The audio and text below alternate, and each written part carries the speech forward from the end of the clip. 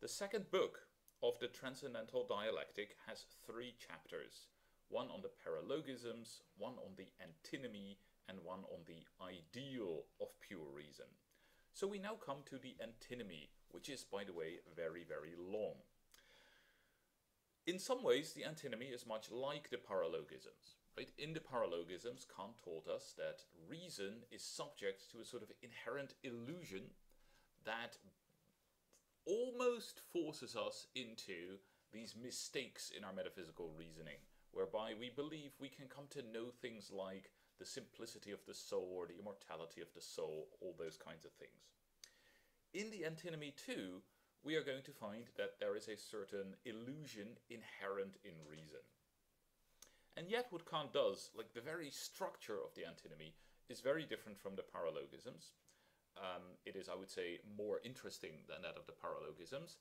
And it is, I mean, if you had to choose between reading one of these two parts of the book, I would definitely choose the antinomy, which is a lot of fun and uh, has a lot of very interesting content. So, what is strange about the antinomy, which we will uh, find very soon when we get to uh, the second section, is that in the antinomy, reason isn't so much led to a particular wrong conclusion, like the simplicity of the soul, but rather reason is led to two conclusions, both of which seem to have like perfectly good arguments in their in their favor. So in the paralogisms, the arguments were fallacious. In these arguments, you know, they, they seem to be sort of perfectly good. Um, but unfortunately, the claims that these arguments lead us to are immediate contradictions of each other. So Kant, for instance, is going to tell us that there is a perfectly good argument that shows that the world must have a beginning in time, and a perfectly good argument that shows that the world cannot have a beginning in time. And of course, this is a somewhat problematic combination. And we will find that the same is true, for instance, about the divisibility of matter, uh, as well as the existence of freedom. So that is something that Kant is going to spend some time showing to us. Right? The long second section of this uh, antinomy consists of Kant going through all these arguments and showing that, you know, there are pretty good reasons to hold on to these opposed points of view, to these opposed claims. But of course, they can't both be true, right? It can't be true that the world must have a beginning in time and that the world cannot have a beginning in time. And so, after section two, Kant is slowly going to unravel the problem for us. And of course, this has a lot to do with his transcendental idealism and the fact that there's that, that there's something wrong in our use of reason when we accept these arguments. But we will get there when we get there. So, at the beginning of the second chapter, in sort of this first little introductory uh, paragraph, Kant says that uh, a new phenomenon of human reason shows itself. This is at A407. A new phenomenon of human reason shows itself, namely a wholly natural antithetic. And with antithetic, Kant means this phenomenon that there's the thesis and there's a sort of antithesis that, that is opposed to it, and both of them seem equally good, right? Both of them seem to be equally based in reason, and so reason is sort of in conflict with itself, right? And that is very different from the paralogisms, where reason went wrong, but it wasn't in conflict with itself. Here, reason is in conflict with itself, and that, of course, means there's a sociological element or a historical element to the story as well.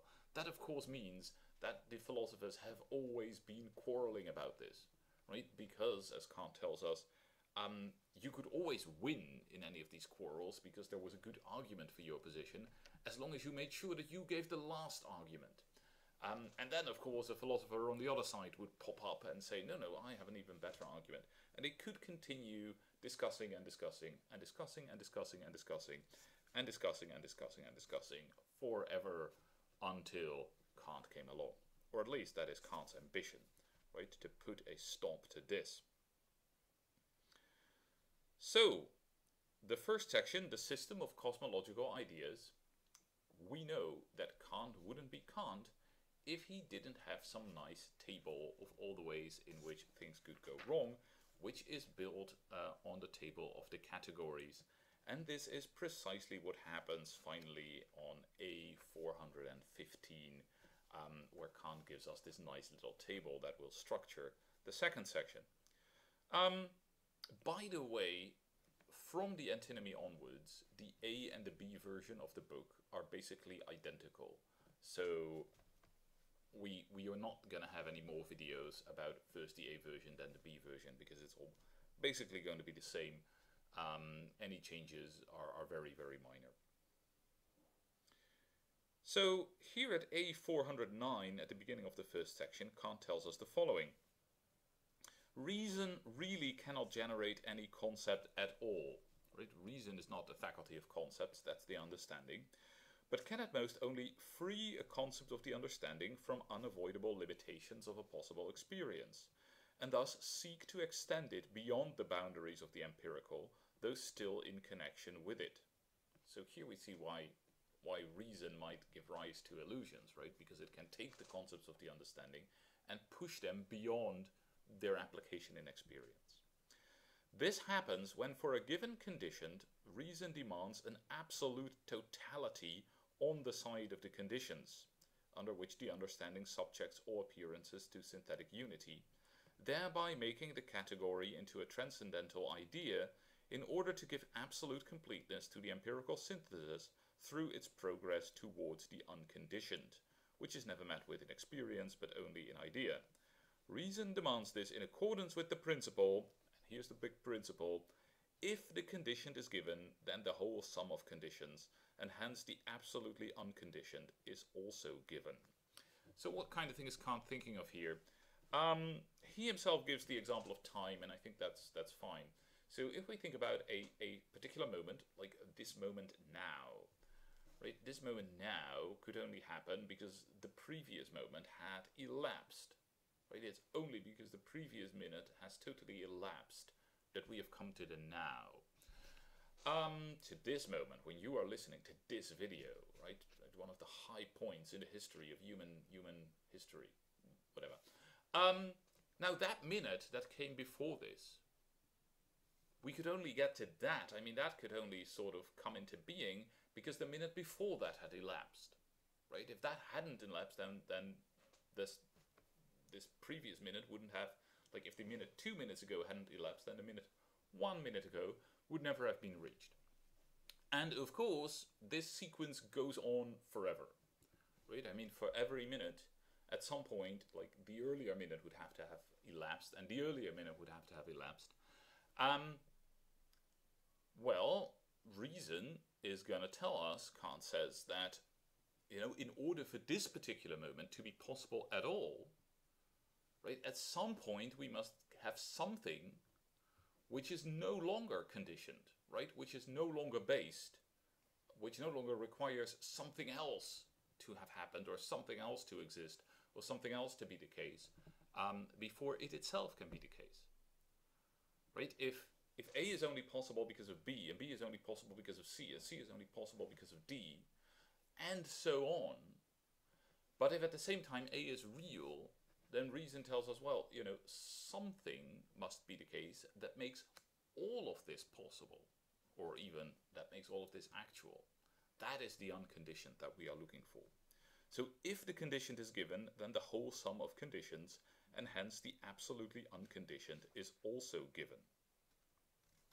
Okay, Kant then points out, and this is at A411, um, that this only works in one direction, right? And we, he, in fact, he talked about this already uh, at the beginning of the uh, of the dialectic. It only works in one direction. I mean, for for the present moment to be given, like the future doesn't have to be given, um, but the past does. I mean, we have to have traversed the past, right? So there's a certain kind of um, asymmetry here towards the conditions rather than towards the conditioned. Then, starting uh, at the end of A411, Kant is going to walk us through the table of categories. And he is going to tell us that basically for each of the four groups of categories, there is a particular uh, antinomy that's gonna, gonna pop up. A particular way of finding such a sequence of conditions that asks us for the unconditioned. And so, number one, when we think of quantity, well, there's space and time, and the question of whether, you know, well, in the case of time, whether, you know, what happens when we go back to time. I mean, we, we sort of need this entire sequence of past times in order to get to the present. When it comes to space, in order to sort of understand and, and place this part of space where we are, we need a further part that delimits it, and a further part that delimits that, and a further part that delimits that, and so on and so forth. And so, so we are face to face with the eternity of the world uh, and the infinity of space, right? The eternity of time and the infinity of space. That is that is number one. Number two, when it comes to quality, um, Kant wants to think about reality in space, which is sort of that which is in space, the real in space, which he calls matter. Um, and matter seems to be something conditioned as well. Anything that's real in matter would seem to consist of, of smaller parts. Right? And those smaller parts would seem to consist of yet smaller parts that make it possible. Um, does this ever end? Does this sequence of conditions ever end? Is there a smallest, like a simple in nature, or is matter infinitely divisible? That is the second question here. The third question has to do with causation, right? A has a cause which is B and B has a cause which is C and so on and so forth. What about that kind of sequence, right? Does it go on forever? Hmm. Um, or does it stop? But then we would have a very special kind of event, a kind of event, a cause that is itself uncaused, which is what Kant calls transcendental freedom. So the question about like causation and freedom is going to be the third question that we have to uh, have to ask. And the fourth question is about um, well possibility, in this case contingency, right? Everything that seems to exist uh, seems to be contingent. It could also not have existed, except for the fact that you know it was made necessary by something else, right? Uh, which in turn was made necessary by something else, which in turn was made necessary by something else, and so we have a question of whether there is, and if so, in what sense, um, a, a necessary being.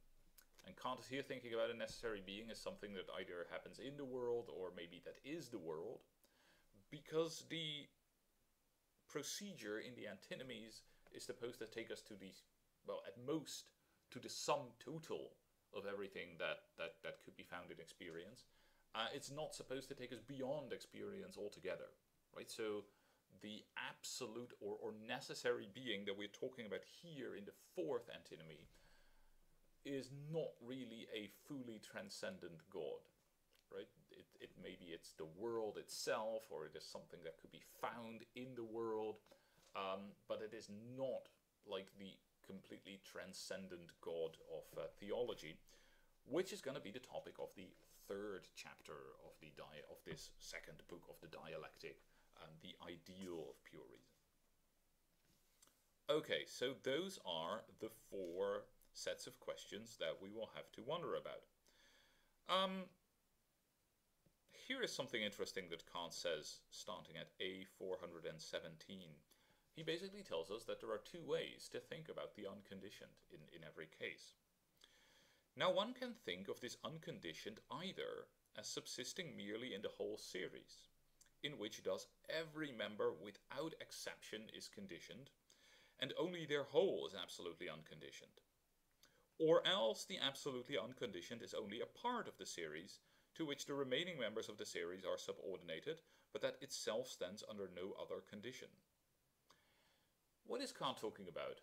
Well, he's talking about two possibilities. If I'm looking for the unconditioned, I have this sequence.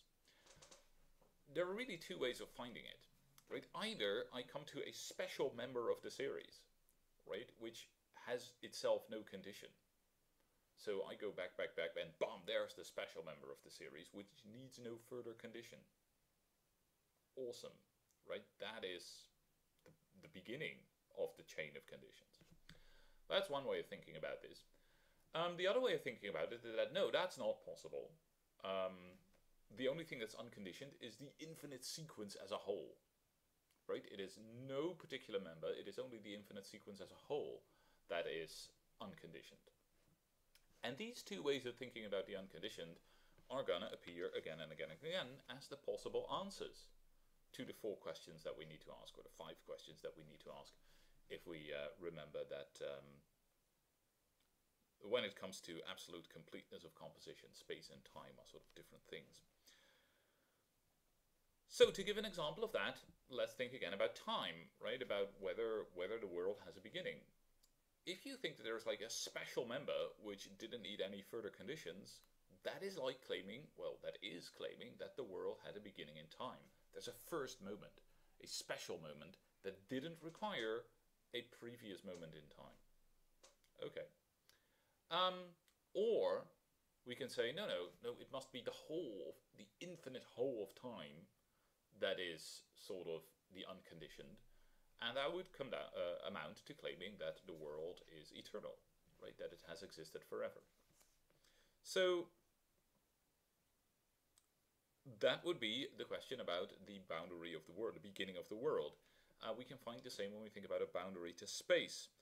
Um, whether there are any simples, right? If there are simples, if there are elements of, of nature, of matter that cannot be subdivided any further, then they are the first terms of the sequence. But if they can be divided further, if everything can always be divided further, then it's only the sequence as a whole that could be unconditioned. Um, if there are any first causes, then they are, you know, the, the, the moments of transcendental freedom. And, okay, that's great. Um, if not, if the sequence of causes goes on forever, then it's only the whole as such that could be unconditioned. And again, the same for uh, the same for uh, uh, contingency itself. Contingency and necessity, whether there's a, a necessary being. So Kant then goes on to introduce two expressions, world and nature, which are sometimes run together. The first signifies the mathematical whole of all appearances, and the totality of their synthesis, in the great as well as in the small. But the very same world is called nature insofar as it is considered as a dynamic whole, and one does not look at the aggregation in space and time, uh, but looks instead at the unity in the existence of appearances. So here we have a distinction between the mathematical and the dynamic, which we already know, right? When we, when we uh, back in the table of categories, back in the metaphysical deduction, Kant made this distinction between mathematical and dynamical categories, um, and then in the system of principles between the mathematical and the dynamical principles. And now here, he introduces these terms world and nature for two ways of thinking about the whole, right? And, and when we think about the world, we're sort of thinking about the world as an aggregate, right? As, as all this stuff put together, as if when we are thinking about the the infinity of space or the eternity of time uh, or the divisibility of matter. It's all about aggregates. It's about bringing things together. Whereas the dynamical principles, or I should say here, uh, the dynamical way of thinking about the world is thinking about um, what happens in the world, the different experience, the content of the different experiences, and how they hang together, how they could make each other necessary. Um, and so those are the dynamical principles. So what Kant says, and this is at the beginning of B448, he says, in regard to the distinction between the mathematically and the dynamically unconditioned, I would call the first two world concepts in a narrower sense, but the remaining two transcendent concepts of nature. Up to now, this distinction has been of no particular relevance, but as we proceed, it may become more important. Spoiler alert, it does. At some point later on, Kant's going to explain to us that there is an important difference between the first two mathematical antinomies and the second two, the third and fourth, um, dynamical antinomies. So we'll um, we'll see that later. We will just keep this in the back of our mind for now. Alright, well that brings us to the beginning of the second section. And the second section is one of the weirdest sections in the Critique of Pure Reason, maybe sort of typographically it is the weirdest section, because after an introduction, Kant is going to talk about these four conflicts of transcendental ideas. And what we are going to get is a thesis and an antithesis on two opposing pages. Um, thesis, proof, commentary, antithesis, proof, commentary on these two opposing pages, sort of to show that, you know, these are two, two separate ways of thinking that we actually can't bring together. Um, but both of them are, are in a sense good. That's what Kant's going to, to exclaim. Uh, not exclaim, claim. I don't know, maybe he exclaimed it too, like Archimedes jumping from his tub and, and screaming, Eureka! Kant maybe jumped from his tub and screamed, Antinomy! Um, ran naked through the streets of Königsberg, telling everyone that reason gets into an entirely natural conflict with itself. Possibly not. I wanted to say I like the image, but I'm not sure I actually like the image. So, at B449, Kant tells us that um, each of them is not only without contradiction in itself, but even meets with conditions of its necessity in the nature of reason itself. Only unfortunately the opposite has on its side equally valid and necessary grounds for its assertion. So what Kant is telling us here is that, you know, the arguments that he is going to give are supposed to be, in, in some sense, good. They are supposed to be without contradiction, and they even meet with conditions of their necessity in the nature of reason itself right? They make sense. Um, they're not just sort of sophistical plays on words or something like that. When we try to think through this relationship between the conditioned and the unconditioned, we actually get like into these argumentative chains, like into these ways of thinking. They sort of immediately follow from that. And maybe we can say something very general about that at the outset, right? We have seen what the general form of the antinomies is supposed to be. There's this chain of conditions, and either two ways of thinking about that when we try to get to the unconditioned. Either there's a first member, or it's the whole um, that is unconditioned. And basically, the problems with that is that if you think that something like that this chain of conditions just stops at a certain point, well, how are you to understand the unconditionedness of this first member? right? Because surely it is just like all the other members. Like a first moment of time is not different from any other moment of time as such. Um, so why doesn't it require a further condition? That might seem to be an insoluble problem. At the same time, if you claim that no, no, it's the entirety, sort of the infinity of conditions that is itself unconditioned, you get into the, the, the problem that, well, if every member of this sequence, sequence is, is conditioned, is not necessary, how do they build up something that is necessary? Right? I mean, that too seems to be hard to hard to understand, hard to explain. Um, possibly, possibly, it would have been best for Kant to just give a, a very general argument like this. But he is in fact going to give us very detailed arguments for all of these antinomies. Uh, and to be honest, these arguments are maybe not always the best. They might have looked, I don't know whether they looked like really good in their historical context. I don't think all of them are like super um, super convincing to us. Some of them seem to be based very much on what we learned earlier in the book. Okay, uh, some of them I don't know. We'll we'll we'll talk a little bit about it. We'll talk a little bit about it. So Kant goes on at A422 to say that Every human reason must necessarily come up against these problems in the course of its progress, and so what we have here is a natural and unavoidable illusion which even if one is no longer fooled by it, still deceives, though it does not defraud, and which thus can be rendered harmless but never destroyed. So the illusions here are not like the paralogisms, which were really just mistakes in reasoning, and we can sort of recognize that and, and avoid it these are more like visual illusions, right? Sort of they will stay with us. We will always feel the power of these arguments, even if we know better than to accept the conclusions, right? That is sort of the picture that Kant is painting for us. And then he has some, some uh, interesting remark about the relation between understanding and reason, which I will read out uh, before getting to the conflicts themselves.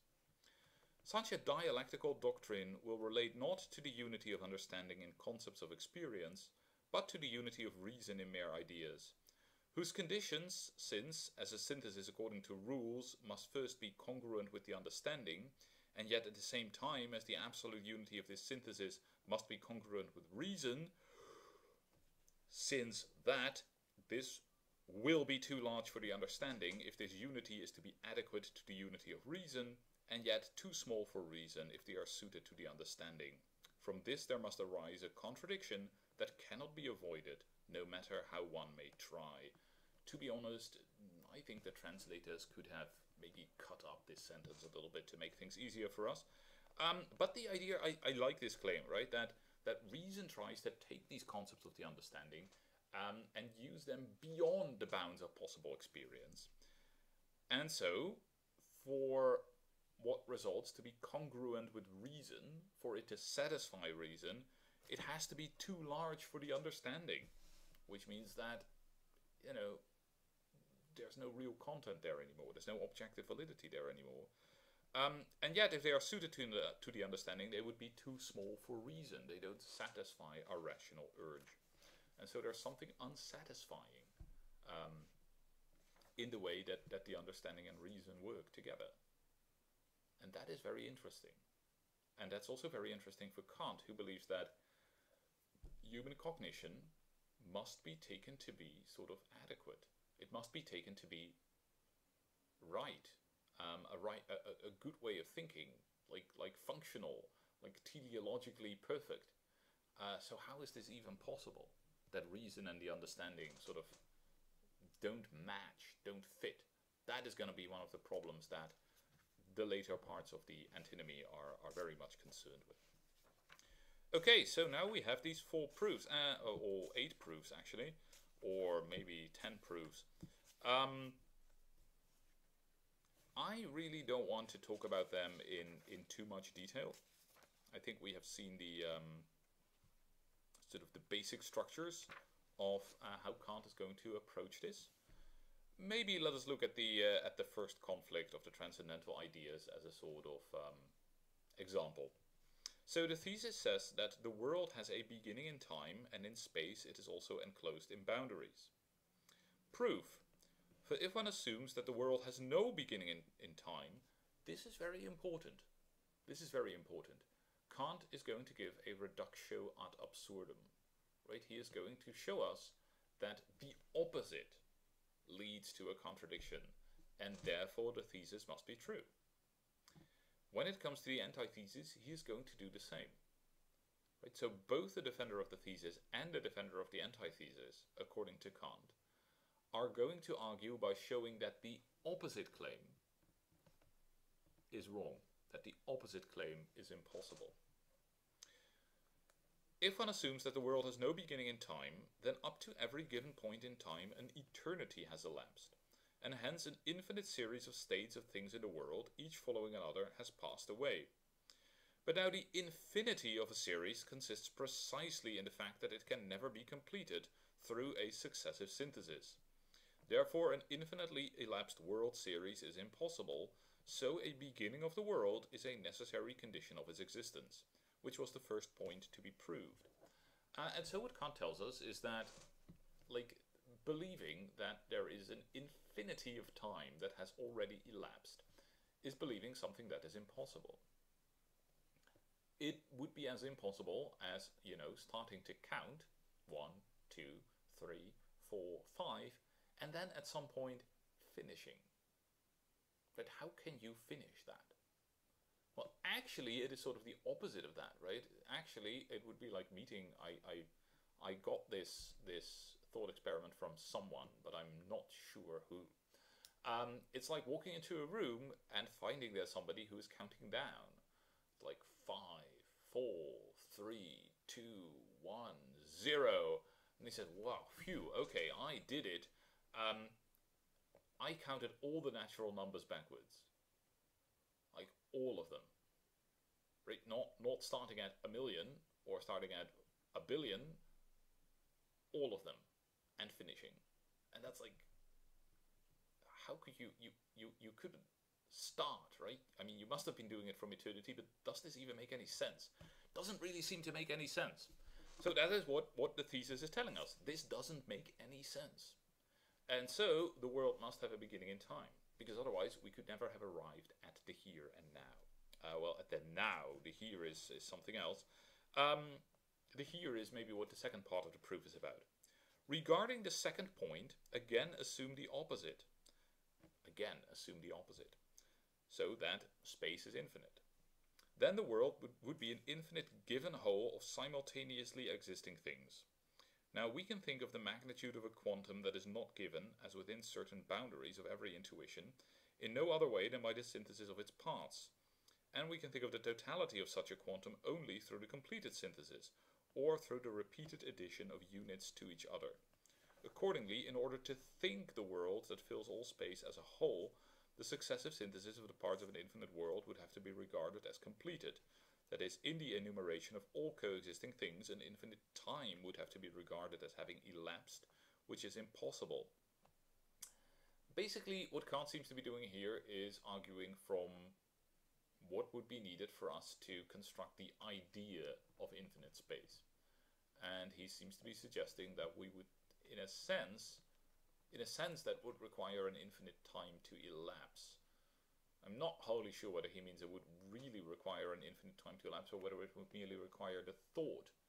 Maybe it's just that, right? Just require the conception of an infinite time having elapsed. Like sort of the idea of all of space is in a sense the idea of going through an infinite number of stages um, in your construction of it, which would mean that it is just as incoherent as the story about time, except that we are now at the level of our our our thoughts, our concepts, uh, rather than um, the world itself. I'm not really sure what to make of this, right? I mean, and and this would seem to be the kind of point where you um, where you could spend a lot of time with with actually most of these proofs trying to figure out the details. And I put, I mean, power or more, more power to you if you want to do that, right? And and there's definitely uh, quite a bit of literature on that. Um, I don't think it's the most interesting thing about the antinomies. I sort of get the the underlying idea.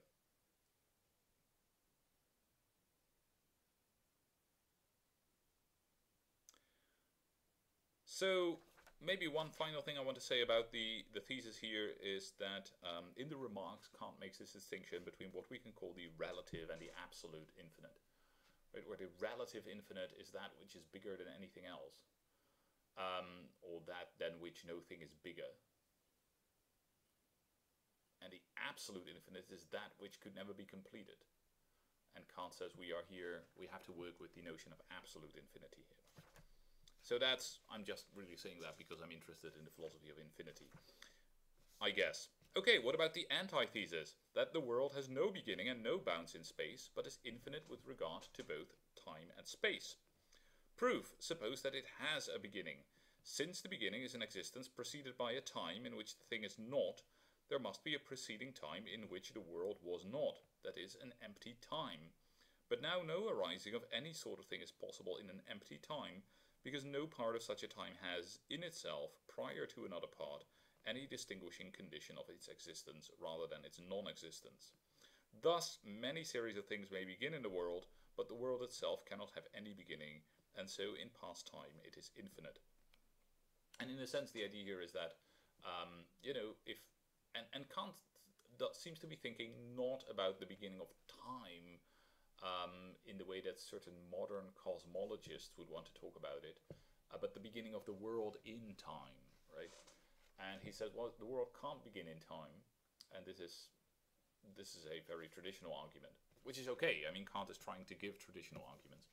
Uh, it can't begin in time because it would be completely arbitrary for it to begin at that point rather than some other point. I mean, there's nothing there which could make the world begin. I mean, how it's it's empty time, right? I mean, there's nothing there that could make the world begin. Some thought like that seems to seems to underlie the um, the antithesis here. Okay, I think I am going to leave it at that, which with these four conflicts. Uh, of course, you should absolutely read them in order to understand well what is going to happen later on. Um, but I wouldn't worry, like I myself wouldn't worry too much about the details of the arguments, right? Kant, all these arguments have a very peculiar status. They have the very peculiar status that Kant says, look, these are the best arguments that um, the defenders of the thesis and the antithesis can give. So he's sort of putting them forward as good. But of course, they're not his arguments, right? He doesn't actually agree with them. Um, what what he is interested in is the fact that we have these arguments that proceed from our, our thinking of the conditioned and the unconditioned, and they always lead to paradox. They always lead to paradox. Uh, and it's the paradox that Kant wants to understand. And so, in the next video, we will continue with the third section on the interest of reason in these conflicts and see how Kant is going to talk about and understand these paradoxes of reason.